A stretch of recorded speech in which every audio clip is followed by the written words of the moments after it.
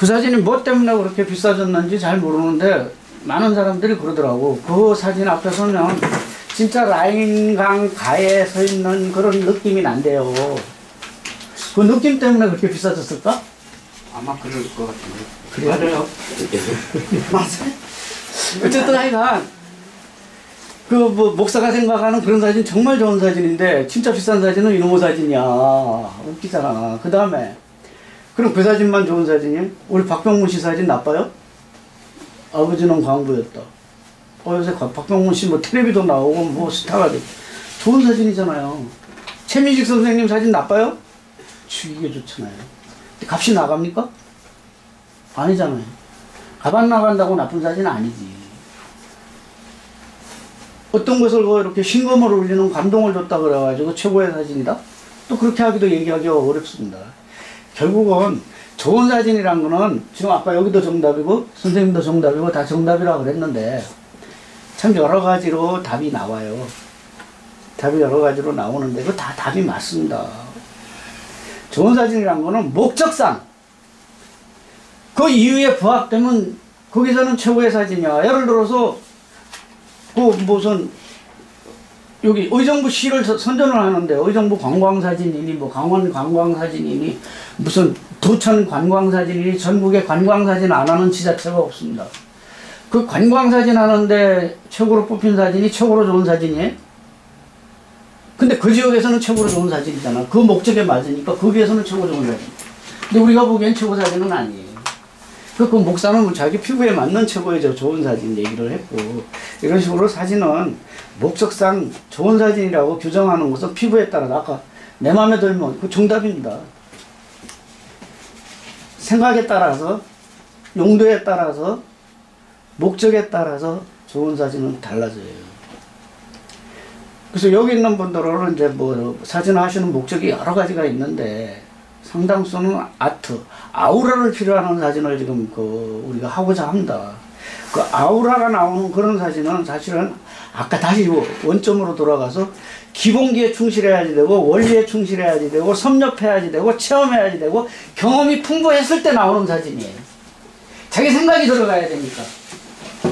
사진 중에서는 자기의 그 작가의 생각이 깊숙이 숨어있는 작가가 말하고자 하는 걸 충분히 말해줄 수 있는 이런 사진도 좋은 사진 중에 하나예요. 물론 목적에 따라 다, 다양하겠지만 관광사진에서 그 사진을 뽑지는 않아요. 하지만 그렇다고 그, 저, 그 사진이 나쁜 사진은 아니잖아요. 그 작가가 말하고자 하는 그 말이라는 게 또 굉장히 웃겨요. 그 라인강이라는 그 작품도 그러지만 작가가 진짜 사실은 어거지로 쓰는 거거든. 저도 오늘 국회 가서 또 어거지를 쓰고 왔는데 사실 지 맘대로 막 말하는 거잖아요. 자기 맘대로. 남이야 이해하든 말든. 남이 뭐라 그러든 난 내 식대로 왔다 말하는 거야. 이게 예술사진의 상당수는 자기 주장이에요. 뭐 남들이 그것을 거지것대로 그대로 생각해 주느냐 전혀 아닌 게 굉장히 많은데 괜찮습니다. 그래서 중앙일보 아, 중앙대학교 커리큘럼에 보면 자기 사진 팍팍 우기기가 있어. 우기기 그 시간이 클리, 커리큘럼 그 저기 뭐야 사진 과목 속에 그게 들어가 있더라고. 팍팍 우기기. 그리고 선배가 평론한 거에 대해서 반박하기도 있고 되게 웃기더라고. 사실 그렇습니다. 근데 우리가 사진은 이제 사진도 이제 오늘날에는 다른 예술하고 똑같은 가치 기준이 같이 정해졌습니다. 같이 정해져 가지고 어, 사진이 예술이냐 아니냐 뭐 또 사진이 값이 있느냐 아니냐 이런 거 따지고 그러는데 따질 필요 없어요 이제는 뭐 따진다고 될 일도 아니고 그래서 우리가 그 예술품의 어떤 기준에서 그러니까 목적상 좋은 사진의 기준으로 관광사진 좋아하시는 분, 산사진 좋아하시는 분, 꽃사진 좋아하시는 분, 아트한 거 좋아하시는 분, 뭐 자기처럼 빡빡 우기는 거 좋아하는 사람, 뭐 여러 가지가 있겠죠. 있는데 돈으로 얼마냐, 저, 저, 뭐, 어, 싸냐, 비싸냐, 이런 거 따지기 전에 자기만의 사진을 찍기 위해 가지고 우리가 예술이라는 어떤 관점에서 작품이 팔리고 사는 거에 대해서 약간은 짚어볼 필요가 있다고 봐요. 앞으로 시간 남은 그 부분에 대해서 제가 앤디 오홀의 작품이 그 값이 나가게 되기까지의 어떤 과정을 제가 쭉그 책으로 읽어봤는데 상당히 공감이 가더라고요. 제가 그 사진 에 대해서 이렇게 책을 많이 봐봤어요. 사진의 그 평가 기준이 어떻게 되나가 궁금해가지고 기준을 알려고 많이 봤는데 우리나라에 나돌아다니는 많은 사진이 상당히 엉터리야 책이 많은 책이 뭐 색깔이 뭐 색깔을 보고 값이 뭐 했대는 둥 무슨 테크닉을 보고 했대는 둥뭐 어쩌고 저쩌고 그러는데 거기에 대한 답이 제대로 된 게 앤디 오홀 작품이 값이 나가게 된 배경 그 예술품이 값을 형성하게 되는 배경에 대해서 그 책만큼은 진짜로 공감되게 잘 써놨더라고요. 그래서 제가 그 부분에 대해서 이렇게 어, 상당히 감명 깊게 읽었는데 우리가 이 예술품이라는 게 지금 그 보석이나 금이나 또 뭐 집이나 땅이나 이런 것들을 돈 대신에 아마 돈 가지고 있으면 요즘 상당히 불안할 거예요. 왜냐하면 돈이 지금 가치가 자꾸 하락이 되고 있잖아요. 이자가 떨어지고. 그래서 뭔가를 사놓으면 이제 가치가 생기는데 보다. 어, 그거 꺼졌네. 에이, 이게 자동으로 꺼졌다 켜졌다는 거가 아닌데? 건드리면 거- 이게 꺼지면 바로 왜 건드려? 아, 안 건드렸어. 뒤에 액자가 나 떨어지고 옆에 잠갔어. 이쌤 뒤에 액자가 떨어질 것 같아 자, 너무 춥네요. 큰일 났다.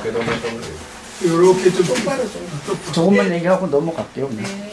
자, 예술품이 그 이제 우리 그 미술이 호황일 때가 있었는데 그때는 돈의 가치로 갔습니다. 금을 소장하거나 집을 소장하거나 뭐 예를 들어서 보석을 소장 그 하여간 돈으로서 언제든지 바꿀 수 있는 그런 것들 가치로 미술품을 소장을 했습니다. 근데 요즘은 이제 그게 약간 거품이라고 이렇게 막 부풀어 놨다가 푹 꺼지면서 미술품을 가지고 돈으로 소장하려는 사람들이 급격하게 줄어가지고 작품이 잘 안 팔려요. 근데 이게 여기까지 오게 된 걸 우리가 알면 그 작품에 대해서 약간은 생각해 볼 기회가 됩니다. 원래 그, 이 예술품이 돈의 가치로 가게 된 동기가, 돈의 가치로 가게 된 동기가 징기스칸으로부터 출발합니다. 제가 뭐, 그 누드 촬영을 많이 하면서 누드 촬영을 단순히 그냥 뭐, 여자 나체만 찍겠다는 그런 생각으로 하지는 않았어요. 뭔가 아까 누드 사진을 하게 된 동기가 그 사진 공부하려고 하게 됐다 그랬는데, 나중에 이제 욕심이 나가지고 누드를 뭐 해외까지 가서도 자꾸 찍어보고 그랬는데, 누드를 가지고 이 작업을, 해, 의미 작업을 해보려고 공부를 많이 했어요. 사실 그, 몽골 누드 찍고 나서는 책을 트럭으로 반 트럭은 봤을 거예요, 아마. 조사를 엄청나게 많이 했습니다. 그랬더니 놀랍게도 제가 조사한 바에 의하면 징기스칸은 한민족이야. 아마 따- 딴 사람들은 그렇게 말하면 저 새끼 헛소리 한다 그러지. 제 소리는 헛소리예요, 사실은. 왜냐면 제가 역사학자는 아니잖아, 어차피. 그리고 내가 조사한 거란 말이에요. 왜 징기스칸을 한민족으로 보냐면, 우리 민족으로 보냐면, 징기스칸이,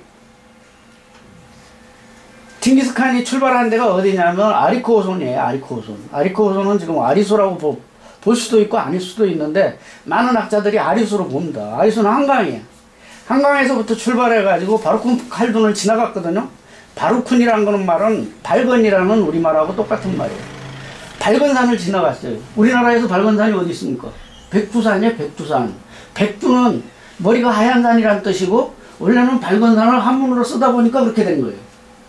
그리고 실제로 옛날에 그 산은 굉장히 높았어요. 4,000m급으로 항상 만년설이 있어가지고 만주 일대에서는 환하게 밝게 보였어요. 어디서나. 그게 그 발해 망할 때쯤 천년 지금부터 천 몇- 몇백 년 전에 폭발하면서 천지가 생기고 대가리가 떨어져 날아가 버리고 그 날아간 그 화산재 때문에 발해가 망했다 그러잖아요. 그러니까 백두산이 원래는 만년설을 뒤집어 쓰고 있어가지고 하얀 밝은 산이었다고. 그래서 바로 큰 산을 지나가지고 몽골로 들어갔거든요. 근데 그 들어간 그 시조의 이름이 뭐냐면 알랑고아야. 우리나라 아리랑이란 말 있고 곱다는 말을 지금도 쓰잖아요. 알랑고아라니까? 걔네들 조상이. 그리고 그때 그 조상 알랑고아를 데리고 들어간 귀족 이름이 고르그메, 고리기멜진이에요. 고시예요, 고시. 알랑고아의 아버지입니다. 그리고 그 알랑과가 자식을 낳아가지고 낳고 어쩌고 저쩌고 하여간 압이 없는 자식을 낳아요. 천창으로 빛이 들어왔는데 임신이 됐대. 우리나라 고대에 뭐 맨날 알에서 낳잖아.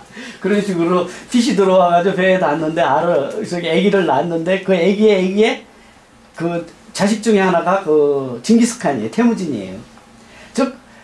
즉, 그러면 이제 고씨가 한강에서 출발해가지고 몽골로 들어가서 알랑, 아리랑이라는 고운 처녀의 자식으로 태어난 애가 징기스칸인데 이 징기스칸이 다른 민족은 100만 명이 되는 도시도 완전히 못 살아한 잔인한 사람입니다. 근데 고려는 전혀 안 건드렸거든요. 죽일 수 있었어요. 고려 시족을 말릴 수 있는 사람이야.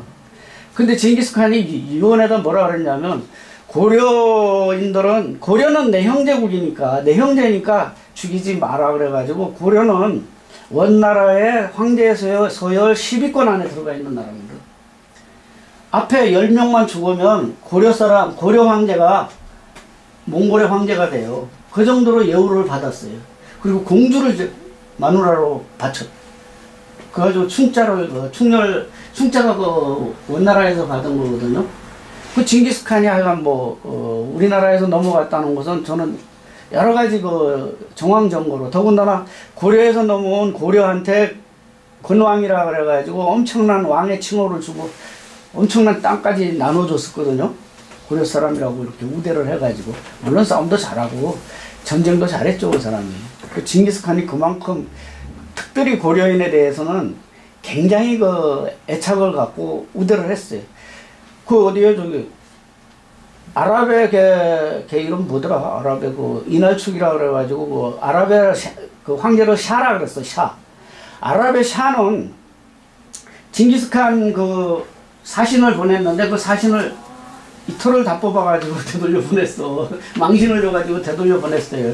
그 열받아가지고 징기스칸이 쫓아가가지고 완전히 초토화시켰잖아, 초토화. 그리고 그 이날축이라는 성주는 여 귀에다가 수원을 끓여가지고 부어가지고 죽인다고. 그리고 한 놈도 안 남기고 시족을 다 말려버렸어. 근데 우리나라는 다루가치라는 게 뭐냐면 다룬다 이런 뜻이에요. 다루는 이. 치라는 말은 우리나라 말로 이인다. 이. 그 사람, 몽골 말하고 우리 말하고는 거의 같아요. 다루가치는 다루는, 다루는 이다, 이다, 이런 뜻이야. 그 다루가치 70명을 우리나라 그 저기 총독이지. 우리나라를 지배하라고 보냈는데 압록강가에서 다 죽여버렸잖아, 70명. 아니, 자기네 나라 사신 망신시켰다고도 쫓아가가지고 박살을 내버리는데 자기네 그